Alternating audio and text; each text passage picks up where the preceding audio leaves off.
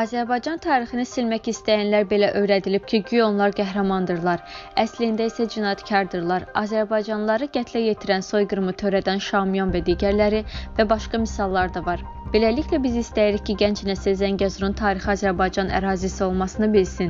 Redaktor nöqtəazın məlumatına görə bunu Azərbaycan prezidenti İlham Əliyev bu gün Ada Universitetində keçirilən Cənubi Qafqaza yeni baxış, münaqişədən sonra inkişaf və əməkdaşlıq adlı konfransda çıxışında deyib.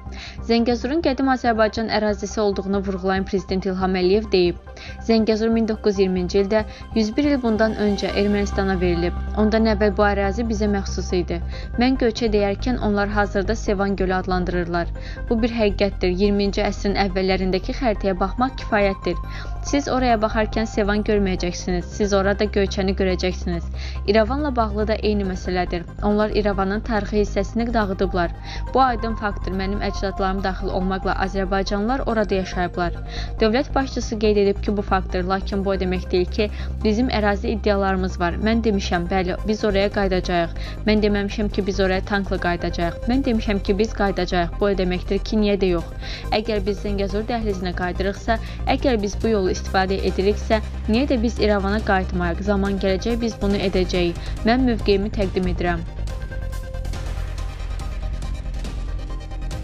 Rusiya və Azərbaycan hərbçiləri Bakının Dağlıq Qarabağda İskəndər M raketlərinin qalıqlarının tapılmasına dair yaydığı məlumatlarla bağlı müzakirələr aparırlar. Publika.az xəbər verir ki, bunu Rusiya prezidenti Vladimir Putinin mətbuat katibi Dmitri Peskov Rusiya və Azərbaycan prezidentləri arasında telefon danışığında İskəndərin qalıqlarının tapılması mövzusunun qaldırıb-qaldırılmadığına dair sual cavablandırarkən bildirib. Hərbçilərin xətti ilə sıx dialoq aparılır, bütün müvafiq məsələlər müzakirə olunur, o deyib. Qeyd edək ki, Azərbaycan prezidenti İlham Əliyev aprelin 13-də Ata Universitetində keçirilən Cənubi Qafqaza yeni baxış münaqişədən sonra inkişaf və əməkdaşlıq adlı beynəlxalq konfransda çıxışı zamanı deyib ki, Rusiyalı həmkarı Vladimir Putinlə Şuşada İskəndər M raketlərinin qalıqlarının tapılması barədə müzakirə aparıb. Qanunsuz tikilən evlərlə bağlı problemlər həll olunmalıdır. Milli Nöqtəz APA-ya istinadən xəbər verir ki, bunu Milli Məclisin bugün keçirilən iclasında deputat Fazil Mustafa deyib. Deputat bildirib ki, sosial şəraitlə əlaqədar insanlar yaşadığı yerləri tərk edir. Bakıya girəndə Sultəpədən başlamış, şəhərin bütün giriş-çıxışlarına baxanda Bakı bir gecə qondu şəhərini xatırladır.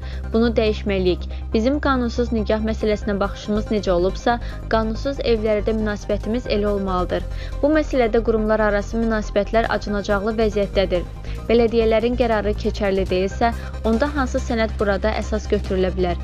Yüzlərlə qanunsuz sərəncam şəhər salma və arxitektura komitəsinə miras qalıb. Rayonlarda elə vəziyyət yaradılmalıdır ki, insanlar dədə-baba yurdlarında yaşasınlar. Bu ciddi problemdir və həllini tapmalıdır. Rusiya Xarici İşlər Nazirliyinin başçısı Sergey Lavrov Qarabağla bağlı yeni fikir bildirib. Sergey Lavrov bildirib ki, Qarabağ münaqişəsinin nizamlanması məsələsində Rusiya və İran eyni mövqedən çıxış edir. Fikrimcə Rusiya Xarici İşlər Nazirliyinin başçısının bu fikri söyləməsi təsadüfi deyil. Türkiyə və Ukrayna prezidentlərinin görüşündən və imzalanmış bəyanatdan sonra bu fikrin dilə gətirilməsi Türkiyəyə verilən mesaj kimi də dəyərləndirilə bilər. Bu sözlərə Axar nöqtəazı açıqlamasında Atlas Araşdırmalar Mərkəzinin siyasi eksperti Samir Amir Hümbətov deyib. Politoloq qeyd edib ki, Rusiyanın məqsədi heç də İranı keçmiş Dağlıq Qarabağ münaqişəsi ilə regiona soxmaq deyil, əksinə İran vasitəsilə Türkiyəyə təzyiq etməkdir. Yəni Rusiya keçmiş Dağlıq Qarabağ münaqişəsinin yekun həllində İranla ittifaq halında olub, Türkiyəni Ukraynaya verdiyi dəstəkdən çəkindirmək niyyətindədir. Görünən odur ki, Rusiya belə zəif strategiyalarla Türkiyəyə təzyiq etmək yolunu tutur. Hesab edirəm ki, Rusiyanın Türkiyəyə qarşı tutduğu mövqe Rusiyanın özü üçün problem yarada bilər. Əgər İran Qarabağ məsələsinin yekun həllinə cəlb olunarsa, Rusiya Cənubi Qafqazda nüfuzunu daha da itirə bilər. Digər tərəfdən prosesin bu istiqamətdə getməsinə Bakı imkan verməz. Ümumiyyətlə Kremlin Türkiyəyə təzyiq etmək üçün Qarabağ kartından istifadə etməsi heç də yaxşı seçim deyil. Çünki Azərbaycan indiki halda Türkiyənin regiondan uzaqlaşdırılmasına heç bir halda razı olmaz. Münaqişənin həllində Türkiyə aparıcı rola malikdir. Bu reallığı Kreml düzgün qiymətləndirmir. Ölkədə toyların keçirilməsinə icazə verilməlidir. Milli Nöqtəaz xəbər verir ki, bunu ayrı bir xəbər açıqlamasında millət vəkili Razi Nurullayev deyib. O bildirib ki, bu qadağa vətəndaşlarla polis arasında münasibətlərə də mənfi təsir edir. Daxili İşlər Nazirliyi orqanlarının üzərinə getməyin tərəfdarı deyiləm. Kimsə toy edirsə, onların vəzifəsi buna imkan verməməkdir. Çünki qanun belə tələb edir və onlar da vəzifələrini icra edirlər. Polisi niyə günahkar eləyək? Burada məsələnin kökü də odur ki, toylara icazə verilməlidir və polislə vətəndaş da üz-üzə qalmamalıdır. Millət vəkili onu da qeyd edib ki, toylarla bağlı qadağalar bir çox insanın işsiz qalmasına səbəb olub. Şadlıq evlərinin işləməməsi ucbatından yarım milyondan 700 minə qədər insan əziyyət çəkir. Çünki bir şadlıq evinin işləməsi orada yüzlərlə xidmətin, xidmətçilərin olması idi. Bu qadağalarla biz iqtisadiyyatımızda məhv etmiş oluruq. Qalmaqallı məlumatları ilə tanınan bloger Qaqiq Soqomonyan separatçı qurumun rəhbəri Aray Kartunyanın Şuşaya gəlməsi barədə məlumat yayıb.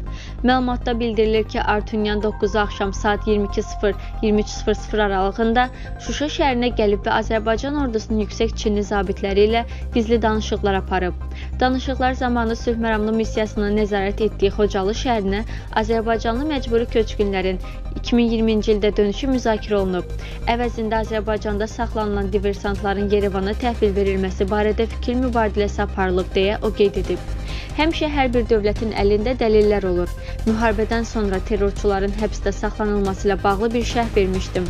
Bildirmişəm ki, ola bilsin ki, bir müddətdən sonra onların bir hissəsini Azərbaycanın maraqlarına uyğun formada dəyişsinlər.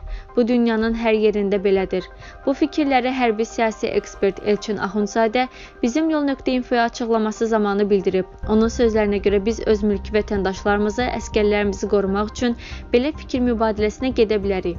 General Muradovun Qarabağa, Rusiya baş prokurorunun buraya gəlməsi, daha sonra Ermənistana getməsi onu göstərir ki, çox güman ki, bu barədə də danışıqlar olub. Amma biz dərhal terrorçuları General Muradovla göndərsəydik, haradasa düşünülərdi ki, Rusiya tərəfi təzyiq göstərir. Lakin bunun üstündən bir neçə gün keçəndən sonra Rusiya deyirsə, bu müsbət addımdır. Ola bilsin ki, biz onları qaytarmaqla bizə təhlükə olan hansısa məsələləri də neytrallaşdıra bilərik. Mən hesab edirəm ki, terrorçuların müəyyən hissəsi qaytarılacaq. Biz nə üçün əskərlərimizin, mülki şəxslərimizin həyatını riskə atmalıyıq?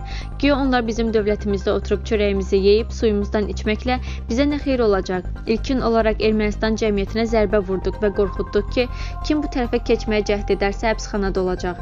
Bu hadisədən sonra Ermənistanda əskər analara ayağa qalxdı ki, balalarımızı Qarabağa göndərməyin. Bununla da biz qarşımıza qoyduğumuz məqsədə çatdıq. Bundan sonra da həmin terrorçulardan xalqımızın, dövlətimizin maraqları üçün məharətlə istifadə etməliyik. Hər bir halda biz o torpaqlara qayıdacağıq, yaşayacaq və hər bir rayonumuzda Azərbaycan bayrağı asılacaq.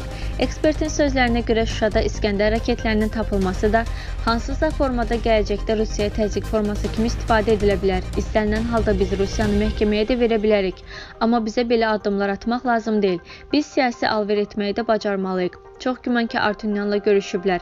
Burada əsas olan odur ki, Azərbaycan maraqlarına məqbul olan problem həll olunsun.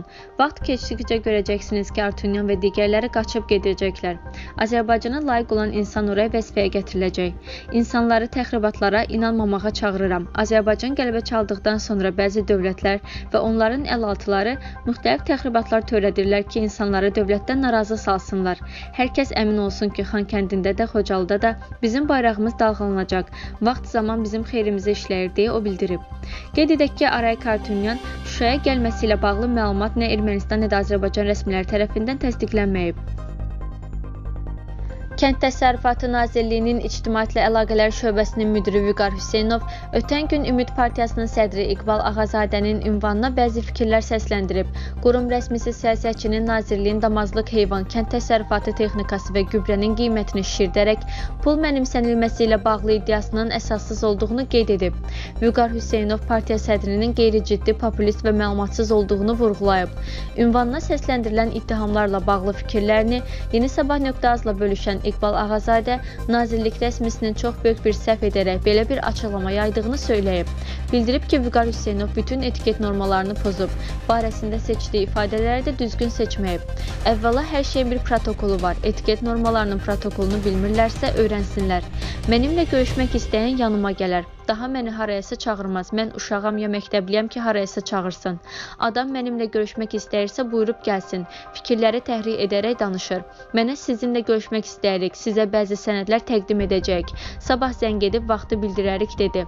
Mən də problem olmadığını bildirdim. Sonra zəng edib filan yerə gələ bilərsiniz dedi. Mən də etiket norması olduğunu, onların mənimlə görüşmək istədiyini və öz ünvanımı dedim. Qapının üzlərinə açıq olduğunu bildirdim. Partiya sədri deyib ki, Kənd Təsərrüfatı Nazirliyinin cinayətləri barədə materialları Respublika prokurorluğuna göndərəcək. Biz onların cinayətlərinin hamısını dayanmadan Respublika prokurorluğuna göndəririk. Gedib oraya cavab verərlər. Hesab edirlər ki, Respublika prokurorluğu susur. Ölkədə korrupsiya mühiti var deyə. Bizim dediyimiz faktların üzərindən keçiriləcək. İqbal Ağazadə çıxış edəndən sonra gübrədən aldıqları 8 manat pulu niyə yığışdırdılar? Siyasətçi heyvanların şirdilmiş qiymətləri ilə bağlı dediyi sözlərin də sənədə əsaslandığını diqqətə çatdırıb.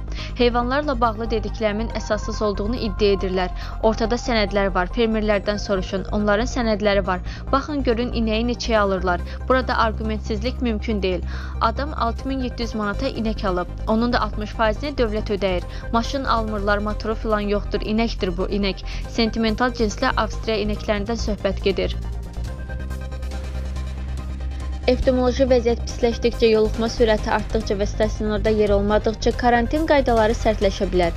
Çünki epidemioloji vəziyyət nə qədər pis olsa, karantin qaydaları o qədər sərt olacaq. Bu Ümumdünya Səhiyyə Təşkilatının tələbidir. Redaktor.az xəbər verir ki, bu sözləri tibb elmləri doktoru professor Adil Qeybulla bildirib. O əlavə edib ki, ölkədə koronavirusa yoluxmuş aktiv xəstələrin sayı göstərilənlərdən daha çoxdur. Müəyyən məlumatlara görə bizim respublikada koronavirus xəstələri üçün 40 min çarpayı yerimiz var. Bəzi xəstəxanalar bir müddət əvvəl bu statusdan ayrıldı. Çünki onların da öz problemləri var. Misal üçün bəzi klinikalarda tədris gedir. Aktiv xəstələrin sayının 31 mindən çox olmasını nəzərə alsaq, alsaq, bu artıq dirənmiş rəqəmdir.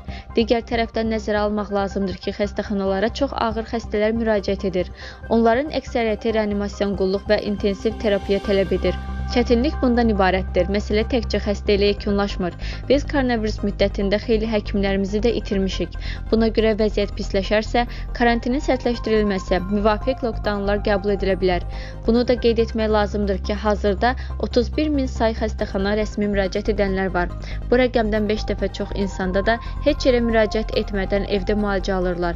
Ambulator müalicə alanların sayı stasionarda yatanlardan çoxdur. Hamı bilir ki, xəstəxanaya düşmək çətindir və məcbur şəkildə şəkildə evdə müalicə alırlar. Aktiv xəstə sayı çoxdur. Bu gün koronavirusla xəstələr küçədə gəzirlər. Küçədə gəzən 10 nəfəri yoxlasaq, ikisində virus çıxacaq. İstənilən halda vəziyyəti tənzimləməyə çalışmaq lazımdır. Ölkəmizdə hazırda vaksinasiya prosesi gedir və bütün bunlar kollektiv immunitetə gedən yolu xeyli qısaldır. Vaksinasiya prosesi intensiv və fəal şəkildə aparılsa, ciddi sərtləşdirilmələr və lokdaunlara ehtiyac qalmayacaq.